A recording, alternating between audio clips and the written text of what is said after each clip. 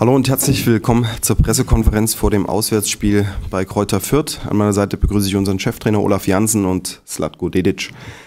Wie immer die erste Frage an unseren Cheftrainer. Herr Jansen, wie sieht es um den Kader aus? Welche Spieler stehen Ihnen für Montag bei dem Auswärtsspiel in Fürth zur Verfügung?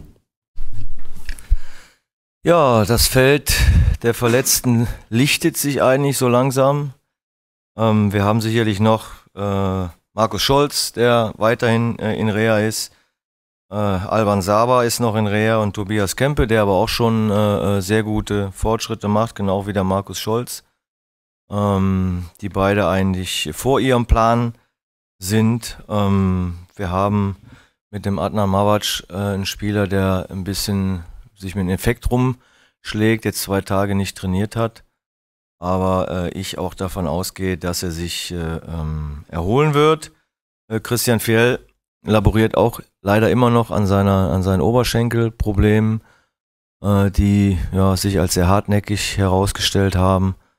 Ähm, da hoffe ich einfach, dass er dann im, im Laufe der, der kommenden Woche ähm, ja, ins Mannschaftstraining zu uns stoßen kann.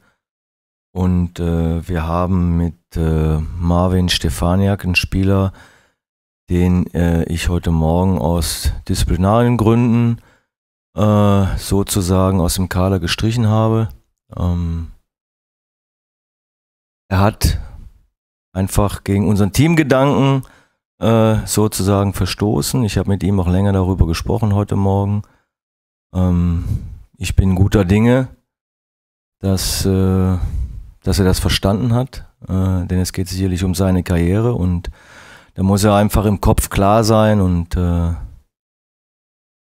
die Tür ist nicht zu. Ich bin mir sicher, er wird auch wieder äh, ja, zurückkehren zu uns nach einer gewissen Denkpause, die er äh, jetzt von mir bekommt. Er geht erstmal äh, wieder zurück zur U19 äh, und wird dort trainieren und spielen und auch bei der U23 am Wochenende wird er da eingesetzt.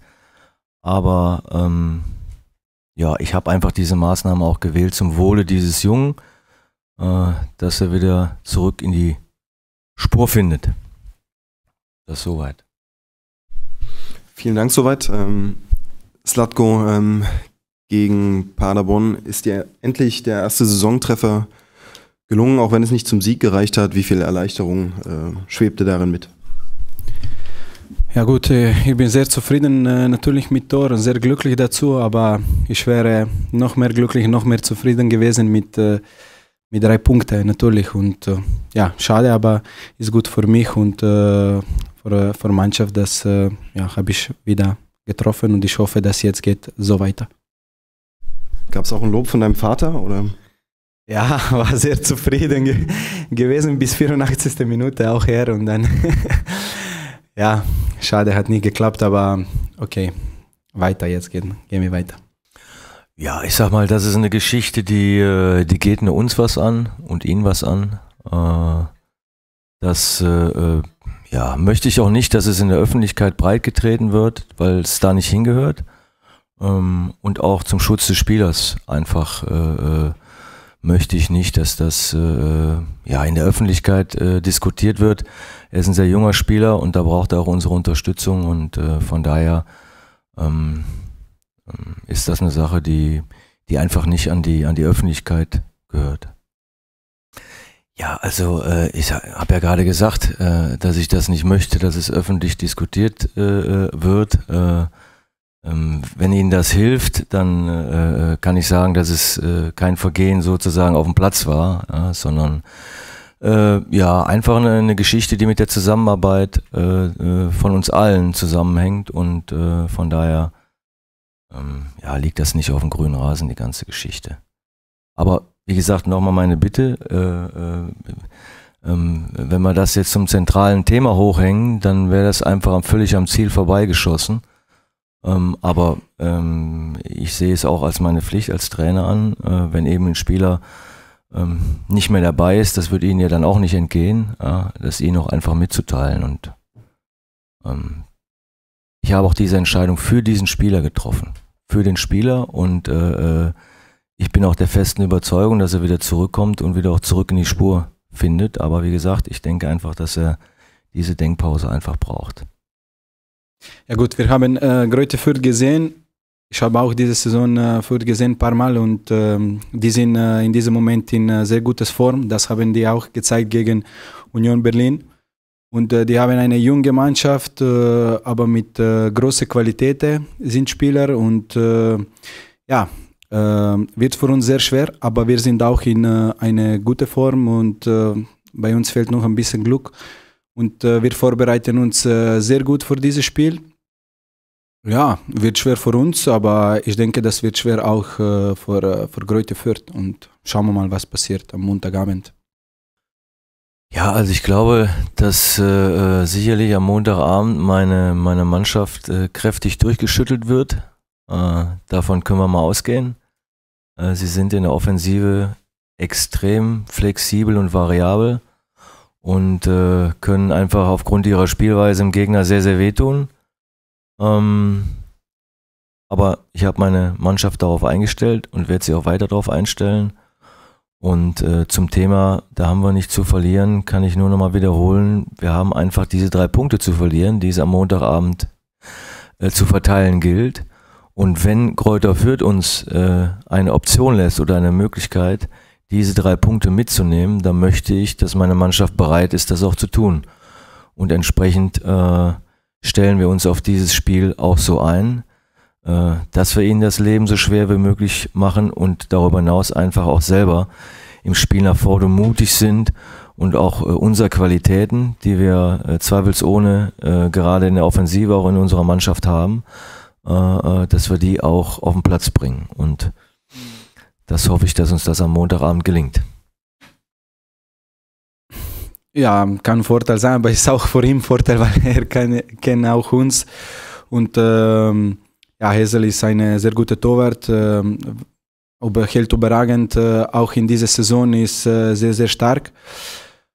Ja, schauen wir mal, was, was passiert am Montag. Ich hoffe, dass wir, äh, wann kommen in Chancen, dann kann auch diese Chancen äh, am besten nutzen.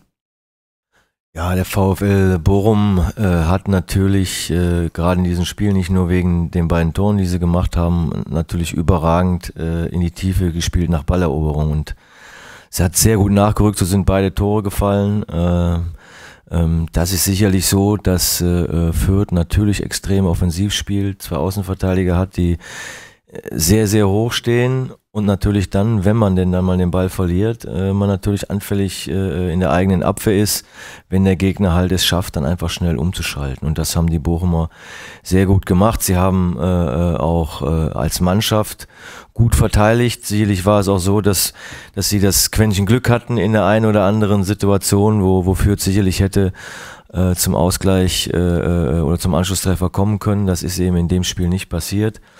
Ähm, aber äh, sicherlich sind die beiden Dinge äh, ähm, in diesem Spiel sehr auffällig gewesen. Ja, das war und das wird, wird auch weiterhin Thema bleiben, auch in den nächsten Tagen und in den nächsten Wochen. Ähm, äh, ich glaube nicht zu sehr, dass es ähm, was äh, mit der Art und Weise, wie man, äh, wie man verteidigt, äh, das heißt in welchem System oder in welcher taktischen Formation, sondern es ist immer ein Stück weit auch eine mentale Geschichte. Das heißt, wie, wie sehr ist der Spieler darauf eingestellt, der Ball kommt genau hier hin, wo ich jetzt stehe. Ja, und nicht, dass er denkt, äh, naja, der wird schon nicht hier hinkommen, wo ich bin. Und äh, daran versuchen wir zu arbeiten, dass jeder bereit ist und präsent ist, wirklich äh, diesen Ball aktiv äh, zu verteidigen. Und wenn uns das gelingt, dass wir diesen Schalter im Kopf umlegen, dann glaube ich, äh, äh werden wir auch deutlich stabiler äh, äh, ähm, sein können. Sicherlich ist es so, äh, dass äh, gerade Kräuter Fürth in diesem Bereich natürlich durch ihre ex vielen extrem starken Kopfballspieler sehr, sehr gefährlich ist und das ist sicherlich eine äh, äh, ja, schwierige und, und sehr herausfordernde Aufgabe für uns am Montagabend. Ähm, ja, da, dafür spricht nichts und dagegen aber auch nichts. Also von daher ähm, ähm, ist es das, was ich gesagt habe. Wer, man muss jedes Spiel, äh, äh, vor jedem Spiel die Uhren auf Null stellen, sich neu formieren und fokussieren auf den Gegner und auf das Spiel. Und äh, ähm, das, äh, glaube ich, wird uns gelingen. Ja, und wenn uns das gelingt, dann äh, ist es einfach so, dass der, dass der Gegner dann äh, äh, ein zähes Spiel vor sich hat. Und davon, ich bin einfach überzeugt, dass wir gerade was, was die Offensive betrifft, genügend Qualität haben, den Fürth dann weh zu tun. Und äh, deswegen ähm, ja, äh, interessieren, auch wenn die, die Vergangenheit positiv gelaufen wäre, würde, das, würde uns das auch nicht helfen in diesem Spiel, sondern äh, wir müssen dieses Spiel neu angehen und werden dieses Spiel neu angehen. Und äh, von daher ähm, ja, ist in, in der Zeit, wo ich jetzt hier bin, ähm, äh, wenn ich das Gladbach-Spiel noch mit einbeziehe, ähm, war es immer so, dass wir, äh, dass wir im Spiel waren, dass wir, dass die Mannschaft will, äh, sehr viele Dinge einfach auch schon umgesetzt hat, die wir erarbeitet haben und ähm, ähm, ich sehe keinen Grund, äh, äh, dass ich einen Zweifel daran haben sollte, dass es am Montag anders sein wird. Ähm, wir, werden, wir werden morgen äh, ähm, im äh, Jugendleistungszentrum trainieren, weil ähm, ich schon unter Flutlicht trainieren möchte im Hinblick auf, auf das Montagsspiel. Äh, und das, das Training ist, ist öffentlich. Und an dem Sonntagabend und am Montagmorgen werden wir in Fürth trainieren. Ähm, könnte ich, will ich aber nicht. Äh, ich kann Ihnen nur sagen, äh, äh, der Eindruck täuscht nicht, dass es ein äh, wirklich ähm, enges Rennen ist. Also ich muss sagen, äh, alle ähm, ja, setzen sich extremst ein, sind absolut präsent, geben im, im Training Gas. Ähm, als Beispiel kann ich da auch den, den Sofian Benjamina nennen, der noch nicht äh, aufgetaucht ist sozusagen, aber auch er äh, äh, hat mich in der Woche äh, schwer beeindruckt. Und ähm, es ist eben auf dieser Position äh, äh, eng ja, und da sind wir halt auch breit aufgestellt, worum ich nicht böse bin. Ähm, und von daher, ähm, ja, werde ich jede Woche einfach den nächsten Gegner äh, äh, in Betracht ziehen, die Trainingsleistungen und mich dann versuchen, für die richtige Formation zu entscheiden. Ähm, natürlich, und das ist auch, das ist auch selbstverständlich, hatte in der Woche so ein bisschen ähm, der Mika so einen kleinen Hänger einfach. Ähm, was, was seinen Kopf betrifft, was, sein, was seine Körpersprache betrifft. Aber ich denke, äh, das ist auch nicht unnormal. Äh, wir haben uns gestern nochmal äh, zusammengesetzt und äh, ähm, ja, wir uns einfach nochmal Szenen angeguckt haben, äh, die ihn so ein bisschen haben wieder lächeln lassen, denn da gab es ja in den letzten Jahren äh, etliche davon. Schöne Momente, die, die, die der Mika hier hatte und ähm, von daher ähm, äh, ja, hat er genau die gleichen, die gleichen Möglichkeiten, die Chancen wie, wie alle anderen. Und äh, auch bei ihm ist es so, dass ich nicht äh, äh der Trainer sein möchte, ähm, äh, bei dem er bei dem er es eben nicht geschafft hat, sondern der Trainer sein möchte, der ihn wieder dahin zurückführt, äh, wo er mal gewesen ist. Ja, aber äh, er muss sich auch dem Konkurrenzkampf stellen, der da ist und der ist einfach wichtig auch für eine Mannschaft, wenn man den richtig annimmt. Ich habe auch heute die Jungs im Training oder nach dem Training sehr gelobt. In dem Trainingsspiel, was wir hatten, wenn man dem zugeschaut hat, mit welcher Energie und mit welcher Leidenschaft dann auch beide Mannschaften zu Werke gehen, ist es auch das, was uns halt weiterbringt. Ja, also äh, wenn man eben gequält wird, in Anführungsstrichen von seinem Gegner und äh, die, die Meter auch mal wehtun, ähm, aber das ist das, was uns am Wochenende äh, erwartet und ähm, von daher, ähm, ja, habe ich mich also auch noch nicht entschieden, um darauf zurückzukommen, äh, ja, wer denn am Montagabend auf dem Platz steht, was die Sturmsache betrifft.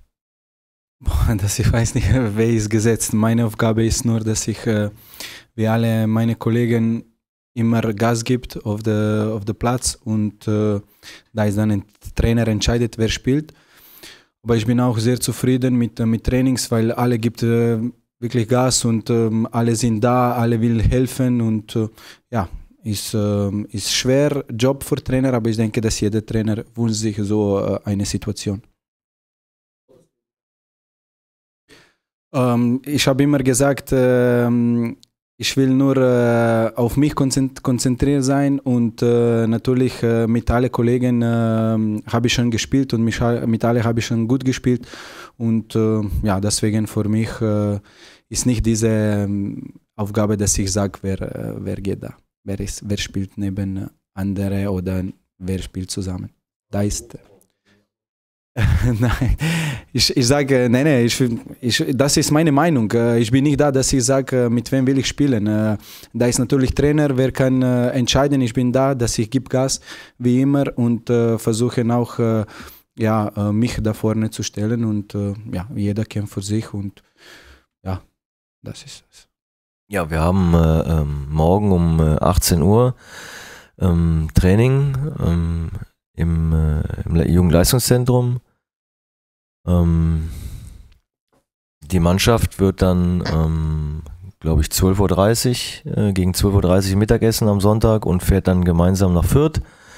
Äh, ich bin dann ähm, bei dem Spiel in Sandhausen und schaue mir das Spiel live im Stadion an und stoße dann später in, in Fürth dazu. In Fürth werden wir dann um 18 Uhr äh, zusammen äh, trainieren und ähm, dann am Montagmorgen noch äh, eine lockere Einheit machen und dann am Montagabend das Spiel bestreiten. Wir werden ähm, auch äh, in Fürth äh, nochmal übernachten nach dem Spiel, weil ich keine, keine Nachtfahrt sozusagen haben möchte. Wir spielen dann ja schon wieder am Samstag. Und einfach im Sinne der Regeneration ist es besser, wenn die Jungs dann äh, nach dem Spiel äh, behandelt werden können und ins Bett gehen können und sie ausschlafen können und wir dann am nächsten Morgen in Fürth dann nochmal ein Regenerationstraining machen und werden uns dann Dienstagmittag wieder zurück auf dem Weg nach Dresden machen. Dann von mir noch ein paar Informationen äh, zum Spiel. Anstoß ist am Montag um 20.15 Uhr. Das Spiel kommt live im Free TV auf Sport 1. Die Stadiontore öffnen um 18.45 Uhr. Ähm, die Tageskassen haben geöffnet. Im Gästebereich wurden bisher 1218 Tickets verkauft, äh, in Fürth insgesamt äh, 10.500. Insgesamt rechnet man in Fürth mit 12.000 Zuschauern. Schiedsrichter der Partie ist Tobias Welz aus Wiesbaden, 36 Jahre alt, DFB-Schiedsrichter seit 1999. In der zweiten Bundesliga pfeift er seit 2004, bisher 76 Spiele und zuletzt mit Dynamo-Beteiligung, das sollte uns vielleicht ein bisschen Hoffnung geben, am 3. Februar 2012 beim Heimsieg gegen die Spielvereinigung Kräuter Fürth. Das Spiel endete mit 3 zu 1. Die Bilanz ist insgesamt positiv. Drei Spiele, zwei Siege und eine Niederlage unter diesem Schiedsrichter. Zuletzt noch der Nachwuchs. Die U23 spielt am Sonntag um 14 Uhr gegen FC Grün-Weiß Piesteritz. Die U19 hat spielfrei. Die U17 spielt auswärts am Samstag 11 Uhr beim VfL Osnabrück. Und die U15 hat ein Heimspiel am Samstag um 11 Uhr gegen Rasenballsport Leipzig, Sportpark Ostra auf Platz 15. Bis Montag, gute Anreise. Tschüss.